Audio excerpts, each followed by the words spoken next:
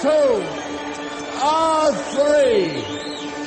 Take me out to the ball game. Take me out to the crowd. Buy me some peanuts and cracker jack.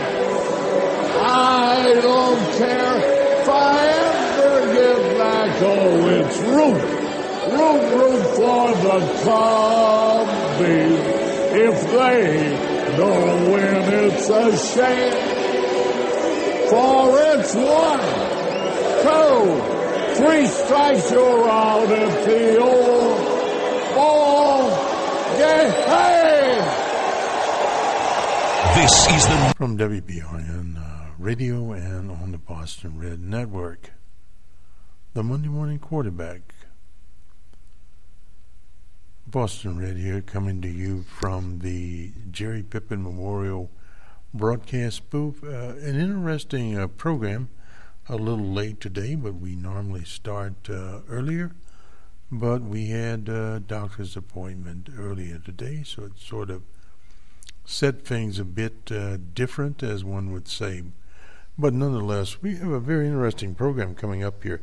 Let me first uh, the um, move to events over the weekend. Uh, DJ Trump uh, met with uh, Chairman Un of the uh, Workers' Party in the Democratic Republic of Korea. Very interesting uh, foreign policy uh, foray for DJ Trump. DJ Trump, like many presidents, when you are the incumbent, you can do things that challengers cannot do. And thus, this is what we uh, were able uh, to uh, view that he uh, took a, uh, position that normally would not be taken by a person engaging in a Wilsonian foreign policy. That is the foreign policy coined by, named after the racist President Woodrow Wilson. Something we've observed for many years in American foreign policy. There is some uh, deviation on the part of the Trump administration. It'll be very interesting to see where it goes from here. But the idea of having a meeting, uh, supposedly um, on the spur of a moment. I doubt that very seriously. Seriously, however, though uh, the meeting was there, they he did meet with uh, Chairman Kim, and uh, he actually was the first, as DJ Trump, walking into the demilitarized zone in uh, the Democratic Republic of Korea. Only a few steps, but he appeared there. Other presidents have appeared after their uh, term in office. Very interesting situation there. But what could uh, come of this, um, and of course, again, within a framework. Now, the framework is not meant to be, uh, in terms of reality, an absolute uh, total disarmament of the uh, Democratic Republic of Korea's missile stockpiles. But it could develop a serious framework whereby assurances are made. Uh, my take is that those assurances would include uh, China and uh, the uh, Russian Federation, that they would assure through uh, certain treaties that uh, some things would not happen. In other words, the government would not be overrun by the U.S. and others. Now, the Republic of Korea has been working for a long time. They would like to de- demilitarize their um, Korean peninsula and would eventually unify their country. Now, this would be very interesting, depending on what uh, DJ Trump is able to do, being an election year, 2020. He could reach an acceptable. Uh, agreement or uh, truce. First of all, the Korean War has never official, officially ended. So we have that situation out there. But if he could make progress, uh, he could be a uh, serious a contender for a uh, Nobel Peace Prize. He and Chairman Un. Now, that would be very interesting in American politics. What it would say that he does have a framework to uh, conduct quote unquote foreign policy, although he is a domestic uh, president with America first. Thus, the Democrats are on notice that um, the whole thing could literally be like the proverbial rug pulled out from beneath their uh, feet. So that's a note to look forward to there. We have from the LA Times a, a more in depth story on uh, Kamala Harris and the bus to Berkeley. An interesting story there. In sadness, uh, we heard that uh, one of the uh, starting pitchers for the uh, Angels of Los Angeles, the baseball team, Tyler uh, Skaggs, has uh, passed away in Texas. We don't have the complete information, but we do have some information. We'll also talk about the Yankees and Red Sox in London. Very interesting situation there and what happened in that uh, matchup. Uh, Bob Nightingale is the person in, in, USA Today. We'll go over that. We'll also have the baseball uh, standings. So let's move on here uh, in this uh, special edition, we'll call it, and figure out exactly where we are here. Uh, oops.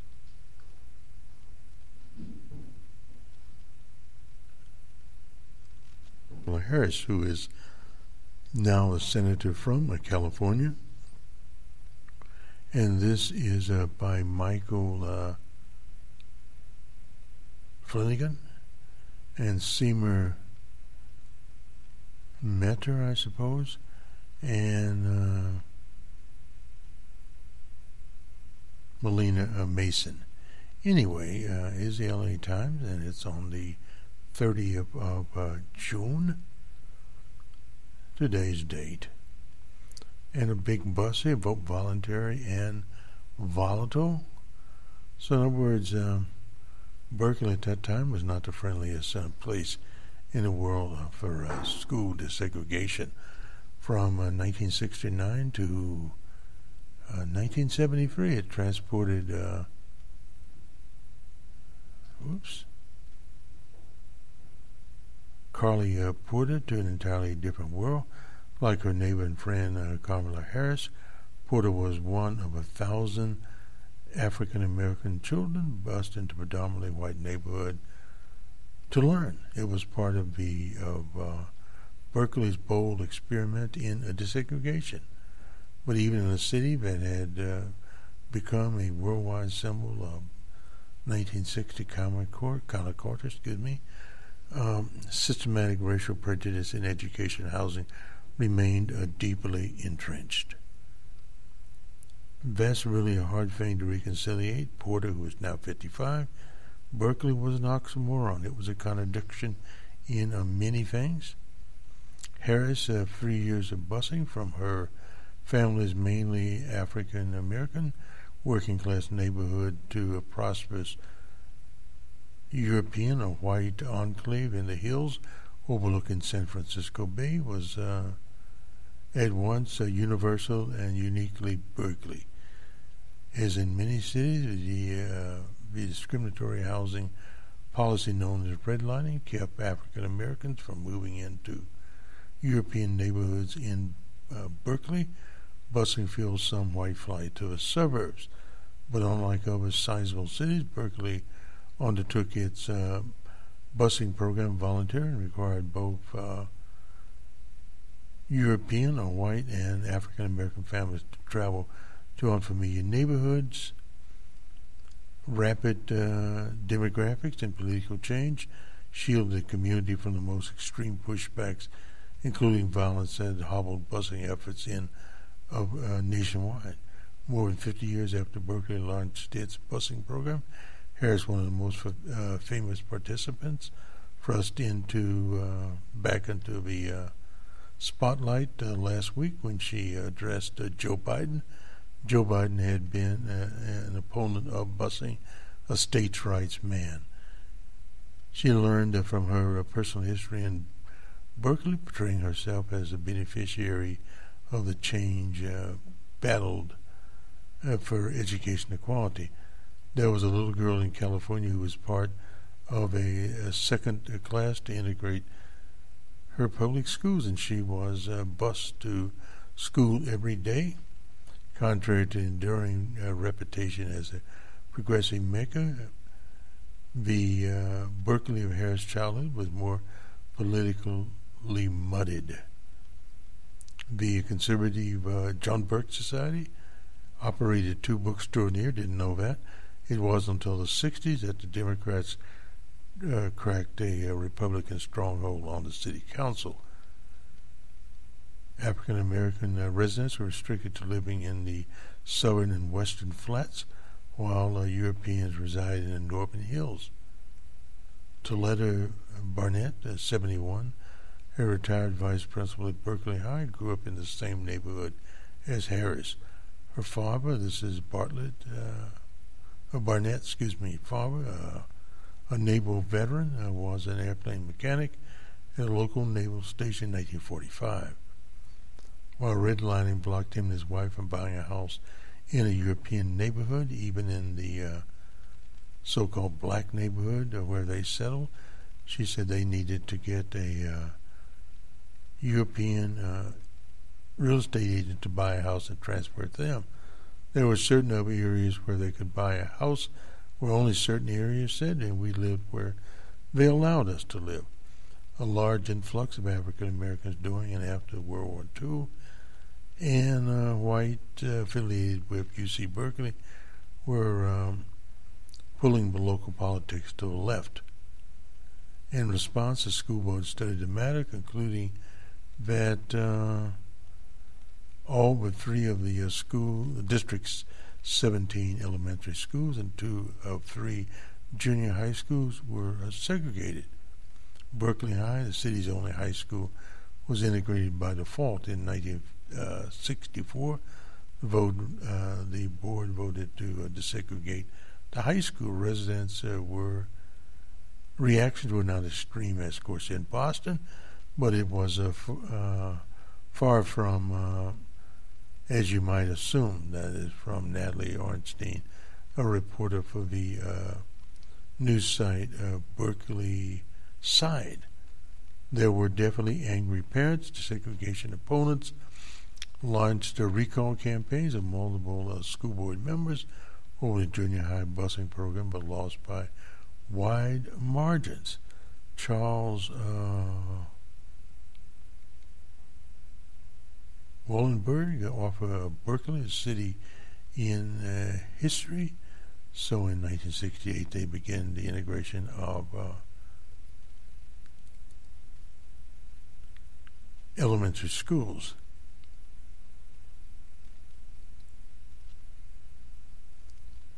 Now, there's a picture of uh, Carmen Harris and with her uh, sister Meyer and her mother. Shamara, I think is how you pronounce that name, outside their apartment in Berkeley. The uh, parents uh, separated there. Anyway, she started uh, attending the school in 1970 as a first grader. Her mother would uh, kiss her goodbye, and off to the bus she went. Leading the charge was Neil uh, Sullivan, the Berkeley school superintendent, previously tasked with integrating Prince Edward County. That's in Virginia. And then you move along here with this. This is a rather long article. We put it up on uh, Facebook. they they weren't just requiring uh, African kids to go to school in white neighborhoods. That is from Erica Frankenberg, an, edu- uh, an education demographic professor at Penn State, who researched the uh, Berkeley programs. They were also saying we need to be equitable in sharing the burden of going back and forth. That was extremely rare. From uh, fourth to sixth grade, she rode the bus to Columbus Elementary School, later renamed after the icon uh, Rosa Parks. Teachers uh, were Africans, and uh, oh, let's see who. Well, we don't have who the person here was. What Han uh, learned uh, African history, some Swahili. Every uh, let, every, let every sing the civil rights national anthem. There's some pictures here. Uh, 57. So all these people in the story were in their uh, 50s. Let me just uh, move along here and finish this up. But others who fled to avoid busing the district saw a decline in enrollment in uh, the 15 years after integration from 16,000 to 9,000. Now, this uh, Porter uh, spoke warmly of her experience, recalling recalling uh, Swedish, Jewish, and Latino friends that she uh, she made at uh, Thousand Oaks Elementary School. There's a good picture here of uh, Biden, Bernie Sanders, and Kamala Harris. We'll put this up later. Anyway, this is uh, the uh, end here. Um, she would not be where she is today if she had not had the opportunity. This is Kamala Harris the legacy in every single uh, kid in uh, Berkeley from grades K through 5 is the baseline for some uh, resources at their school, the quality of teachers to school. That's from Orenstein, uh, the Berkeley uh, side a reporter. Anyway, that is that story. And let me move along here. Hopefully.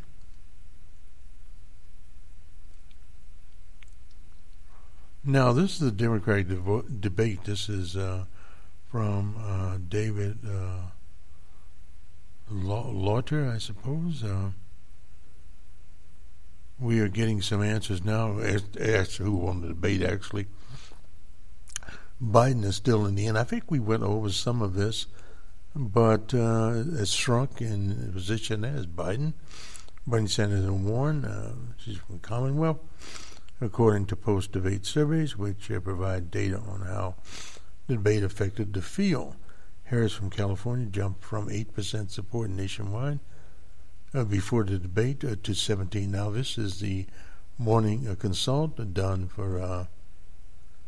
Uh, well, the morning consult is politicals. Anyway, this was done for the uh, 538 website. Biden, by contrast, dropped from 39 to uh, 31. That's an eight point drop uh, for Biden in that particular poll. Overall support for other candidates did not shift significantly. Several included Warren, Cory Booker, and uh, Julian uh, Castro. Saw uh, significant jumps. In fact, uh, Castro got on uh, ABC, so it's a little different race there.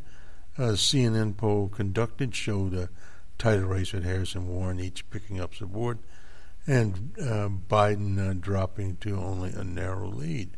That was from CNN. A third poll, YouGov. I think we had the YouGov poll.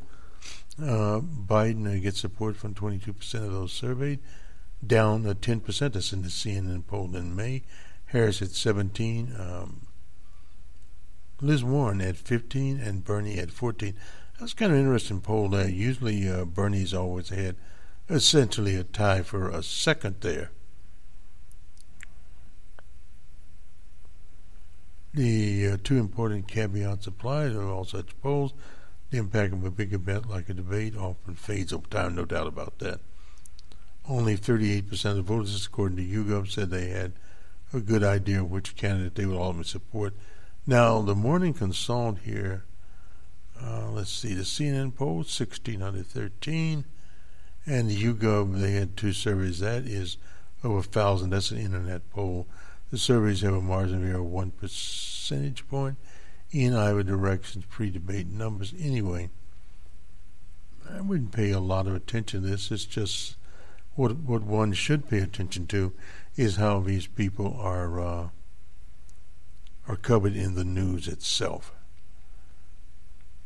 I don't think we'll cover the DJ Trump matter because we've already uh, talked about that. Let's go uh, to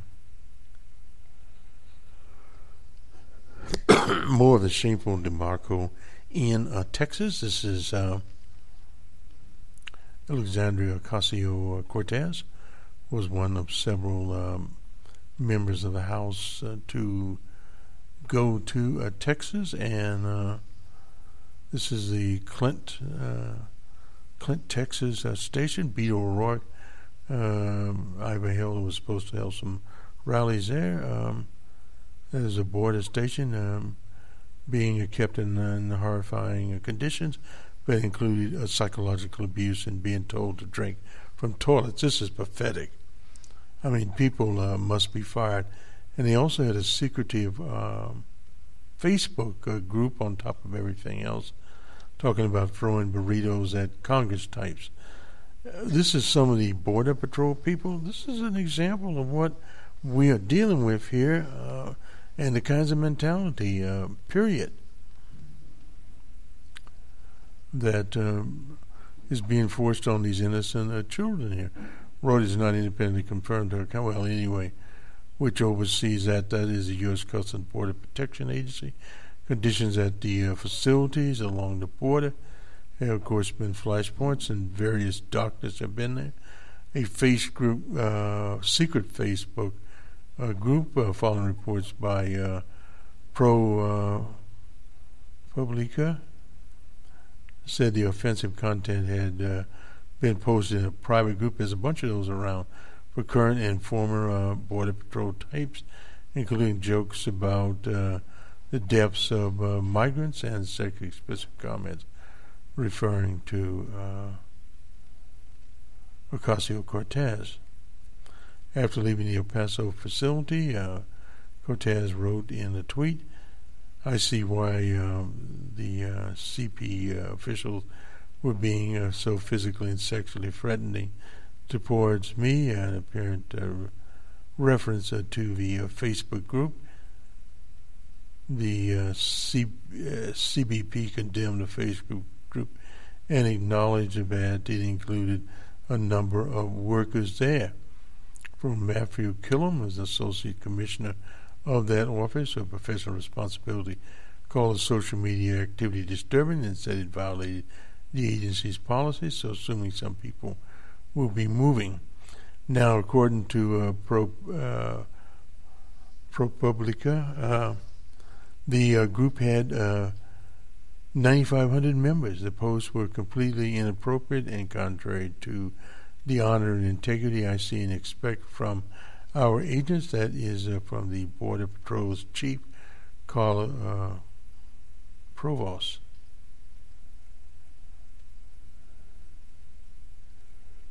The document revealed U.S. agents have feared riots by uh, immigrants uh, being held over crowded positions. Well, they would be in riots also if they were in the, those kinds of uh, positions. Now, on May the 7th, visited here. This is one of many uh, visits. These overcrowding uh, conditions, they're uh, subhuman conditions. Kevin uh, Mc. Uh,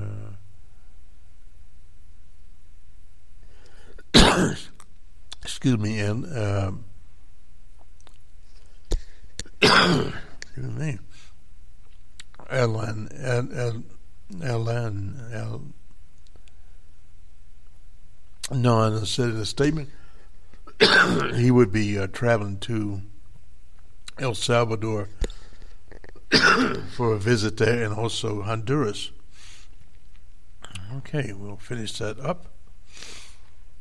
And uh, let's go uh, to ESPN. okay. Let me take a break here.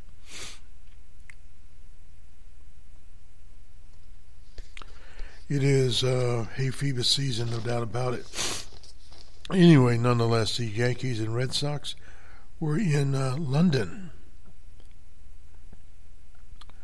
This is a kind of interesting situation to expose the people of the UK that have, according to this uh, article by uh, Bob Nightingale, they've been missing out on 150 years of uh, baseball. Nonetheless, their final goal, this was in uh, London uh, Stadium was 12 to 8. The Yankees 12 to 8 uh, victory. That was on Sunday. Uh, they had two games there. They also played on uh, Saturday. The uh, Yankees also won that game. from Alex Cora. He is the manager of the Red Sox.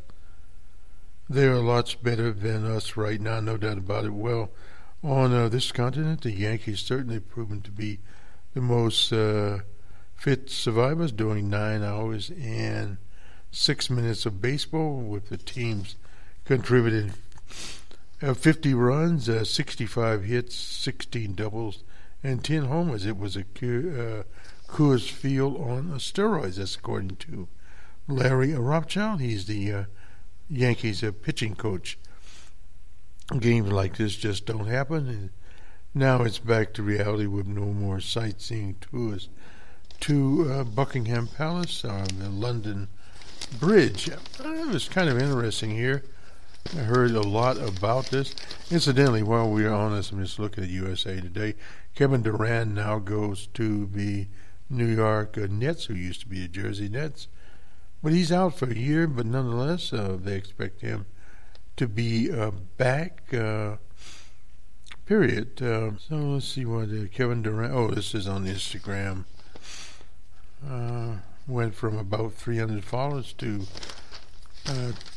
200,000 followers there. So anyway, this is kind of interesting. Here's much of Nightingale's article here. I'd love to see All Star game here in uh, London. Well, it won't be in London, but anyway, it's interesting. Other teams have played next year. That London game uh, will be the let's see, it will be the Cubs and Cardinals. They'll be there in uh, 2020. I think we look uh, forward uh, to that uh, and see. Uh, where you get a chance to meet the Duke and Duchess of Saxon with Mookie Betts was there, and Hoogie Meghan uh, Markle as a distant cousin. anyway, kind of interesting there. Let me just uh, quickly here, since this is the Monday morning question, somewhere here we had the standings for the various teams. Hopefully, here we go. We don't usually use a newspaper, but today we will. Anyway, in the American League, the Yankees, of course, are on top, and uh, they're paying what six uh, fifty nine ball. Then Tampa Bay and then Boston, eleven games back. Tampa Bay is uh, seven games back. That's in the American League East. In the Central, it is uh, Minnesota and Cleveland is eight games, and in uh, the West is the American League. Houston is on top. Texas is six and a half games back. Very close there. In Oakland is seven games back. And uh, the Angels are 11 games back there. In the National League East, Atlanta's on top. Then Philadelphia, they are six games back. And Washington is seven and a half games back. In the Central, the Cubbies finally got on top. But Milwaukee, basically, they're tied at 45 and uh, 39 for both the Cubs and Milwaukee and the Cards uh, getting very close here. They're three games back. They're at 500. And let's see, Pittsburgh is uh, they're three games back. I'm sorry. Um, St. Louis is, and Pittsburgh is five games back. And finally, in the West, it's all Dodgers out there. Um, the uh, Colorado and San Diego. Uh, Colorado's 12 games back. San Diego is uh, 13 and a half and Arizona is 14. So fairly close uh, division uh, there. And let's see, what else do we have here? We had some polling. Let me see if I can find it. Now we got a hay fever attack. Hope I can talk a little better here. Anyway, this is uh, the CNN poll. I'm not sure if that was the one they talked about. Biden is at 22, Sanders at 14, uh, Warren at 15. That was July the 1st. And Harris at 17. Uh, and these other characters are falling down. Buttigieg is at 4, O'Rourke is at 3. He's come up a little, and Booker's at 3 also. And Klobuchar is at 2. She's doing a little better. Castro is down to 1, according to this. Now, this is a national poll here. Biden uh, by five in that poll, and then we go to the Hill uh, poll. Uh, Biden's up by 18. He's 33. Harris Sanders is 15. Uh, Liz Warren is 9. Harris is 11. Buttigieg is down in the single digits, 6. So he's falling down. O'Rourke has come up to 4, so he's rising a little bit there.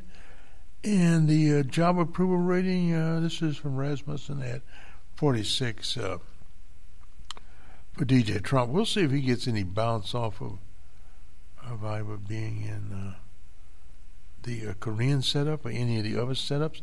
On Sunday, this was the uh, Politico Morning Consult poll. Uh, they have Biden up by 14.